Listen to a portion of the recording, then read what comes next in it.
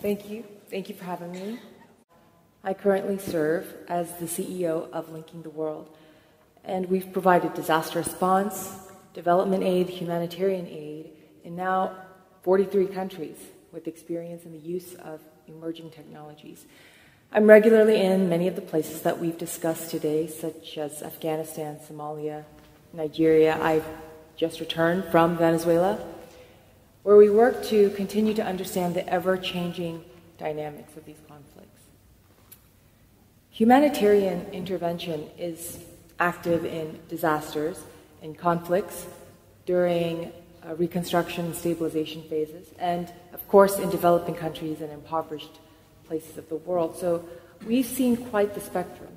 And it was through our work in many of these desperate places that we began to see the connection between poverty and the spread of violent extremist groups. Now, let me be clear that what I'm not saying is that poverty creates terrorism or that terrorists are poor people. Absolutely not. But casual explanations of terrorism that dismiss correlating elements such as poverty can obscure patterns that shed light on how these groups can grow. And as we know, ideology is not the only driver or enabler of the spread or the growth of violent extremist groups. I'll give you an example. In Iraq recently, we went into a town immediately after it was liberated by ISIS terrorists and we saw how they were able to infiltrate the city in the first place. We saw boxes of food and aid that had labels on them that read, the ISIS Department for Relief. So when they came in, not only were they offering better governance and services than the states, but they worked to win hearts and minds. For us as an NGO, we know that we exist, we're present to relieve suffering. But we see the high, the growing number of displaced um, or those living in extreme poverty being targeted, being targeted by these extremist groups to amplify destabilizing messages. And the reality is that it's not going to get any better. One sixth of the world's population live desperate lives, and many may not have a choice one day to have to look to whomever steps into that vacuum. Ungoverned and fragile places in the Middle East and Central Asia and throughout Africa, we know will be exploited by extremist groups, and they can become breeding grounds for terrorism.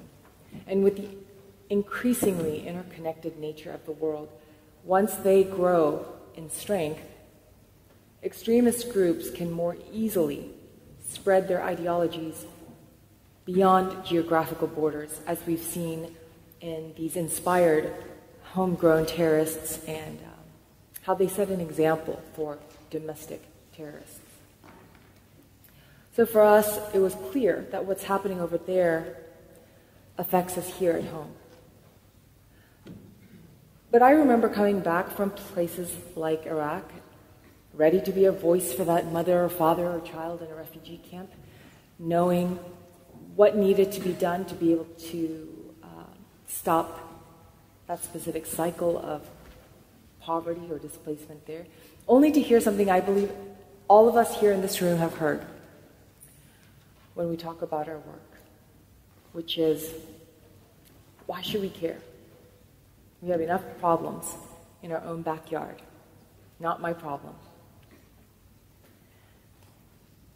I remember it being a low point for me to come back to the States to feel the polarization, to uh, recognize the ignorance or the apathy.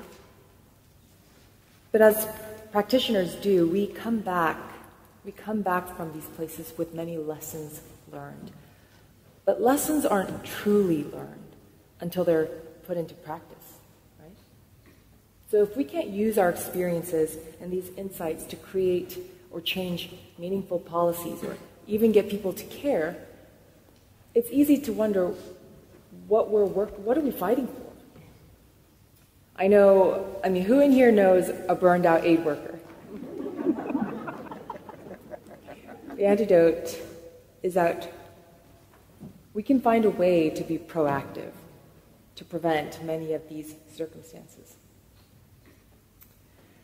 Uh, after seeing and recognizing this connection, I began to meet with a different kind of group of researchers and practitioners, those that were outside of the normal humanitarian space. Um, I began to meet with those, like many of you here in this room, that were focused on working to counter violent extremism. As an organization, we began to coordinate coordinate our efforts with our military in these conflict zones. And we engaged in stabilization operations and planning. And that was a major point for us because it was there that we realized that the existence of these data tools, tools being used for contingency planning to anticipate the next potential hotspots, you know, identify the next potential hotspots to pre-position force to help shape policy and then trigger whether it was military or diplomatic activity. As these places around the world were being identified, I was not shocked, however, to see that many of these places were also the very same places that needed humanitarian aid or development assistance. And when you looked at the circumstances of these areas, we could see that as a humanitarian actor, it would take a fraction of the cost to go in now and be preventative than it would be to respond later after things sometimes literally blew up with military action and then you know, the whole cycle of stabilization, reconstruction, and so on. And yet there was a lack of coordination between the military and the NGO sector. And NGOs uh, were definitely not using these kind of predictive modeling and data analytic tools to identify and choose where they worked or how they shaped their programming. So we as an organization saw that this was an opportunity for us to explore this gap where we can add disruptive value to this fight. But this didn't come without its set of controversy because this meant putting humanitarian aid into the context of global stability and, in our case, national security. But we needed to use data, predictive modeling, for humanitarian assistance because at scale, it's still a humanitarian issue. The innocent, suffering people, they are the biggest victims of violent extremism. So, how did we become an organization driven by data? We began to work with data scientists and analysts to create algorithms and a dashboard that used open source data sets, whether quantitative or qualitative. By taking the metadata along with the insights that we would gain from the ground, from the local level, we were able to first identify where these vulnerable communities are. And then once we identify the communities, we could identify what are the root causes, what are the contributors to instability in this specific area.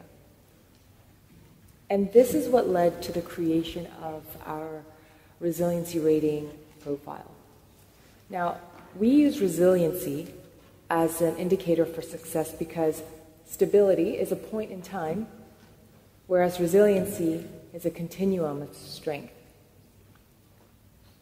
The index that we've created monitors social, economic, political, and military indicators and also encompasses demographic pressures and poverty, human rights, uh, state legitimacy, security, and even climate. These algorithms are built to help agencies identify trends and correlate the data to indications of possible extremist recruitment or exploitation or influence. And through this work, we've been helping lead the advancement of the use of data analytics, along with the Institute of Economics and Peace and the United States Institute of Peace. This capability allows us to be proactive and to counter violent extremism, but also counter the issues that, frankly, kept us from being able to do our job. So I want to walk through these four um, issues with you. The four being programs, funding, coordination, and security. So, first is programs. These tools actually stop organizations from just showing up in a random place and dropping in their solution in a box. This now allows us to create targeted, locally led, and sustainable programs that address the actual root causes of instability and contributors to instability. This allows, even encourages organizations to coordinate and collaborate with one another, which before would be a kiss goodbye to donors when your measurement of success is mostly output based. Second, it leads to funding. Funding has always directed much of the programming in our sector. It's uh, led to many organizations, unfortunately, meeting the needs of donors rather than the needs of the cause or the people that we exist to serve. Much of the current funding is allocated or appropriated to approaches that react, respond, maybe even reform.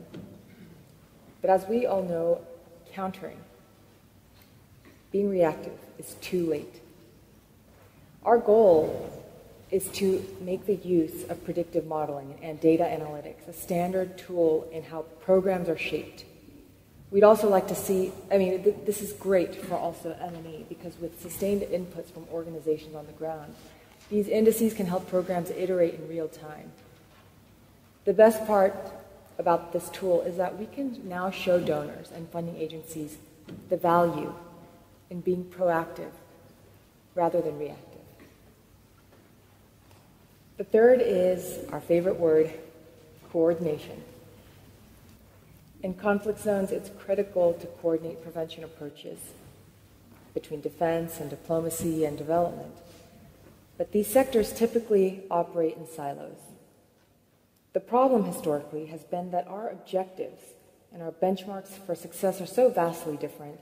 Uh, our timelines for programming is so different from the rotations within the military, and uh, so on. But what these data tools can do is interlink the value propositions now of each actor and coordinate efforts. We can all still have our own strategic objectives and timelines, but the data can identify where each sector can contribute in any given situation, and it can also show where they have contributed in any given situation. It also um, helps us bypass the issue of neutrality. Organizations work to preserve the assumed neutrality that we have when we come into um, an area. But when we're working in unstable areas where there are there's an infiltration of violent extremist groups, in my opinion, I don't believe that neutrality exists. The fourth is of course, security. Security has been a major factor, and in its extremes, it's meant things like organizations working with security contractors. I've seen that putting locals at risk. Or I've seen organizations not get involved just because of the risk of looking like an arm of the US government. NGOs were working to preserve our assumed neutrality when we're going into these areas, and so security may sometimes keep us from being able to work in these places. But there have been new data tools that have been developed to address just that. So when sites are identified to implement programming, we're quite aware of the additional risks that the community might face. And so for us at our organization, we manage the risks by partnering with a company called Predata. They provide us access to their predictive geopolitical analytics platform. This gives us early warning signals of uh, geopolitical volatility. And they do that by processing open source social and digital activity, and then they work with their own unique indicators. So when we hear big data and data, data, data everywhere, uh, we have to remember that the data of last year and the data of today are very different and it's constantly evolving. And they are powerful tools in helping mitigate and prevent the spread of violent extremism. And in the humanitarian sense, it helps us truly help people help themselves. Give them a real hand up. No more handouts. And that's what personally makes me excited about this work because I know I'd like to stop going into the field to meet the kind of children in the situations that they are in now. Uh, there's a, one, a young boy in Iraq who lost his mother and father to terrorists. He was displaced by violence. He's growing up surrounded by violence, without agency or identity, other than that he's a helpless victim. I wonder what will happen if in the future he's offered a sense purpose or even a job by an extremist group. We now have the tools to identify where these next situations will be and how we can intervene before it's too late. We simply can't just wait around until the next major attack or influx of refugees um, or the next war, only to respond using military intervention alone. So, here I'd like to conclude, so we have time for questions and answers, um, by thanking you. Uh, many of you here in this room most of you, you've seen firsthand the state of the world and you understand our role in it. And in the face of some extreme challenges and great odds, you're not just sitting back and hoping the problems will go away or that we'll throw policies or maybe sanctions to fix it. You're stepping forward from all specialties because we know that none of us are the one solution. None of us are the silver bullet. We understand that there has to be cross discipline collaboration between data scientists and humanitarians and experts that understand the social, cultural, political, and geographic terrains. So thank you for being here and contributing your expertise and working with us towards our collective goal. Thank you.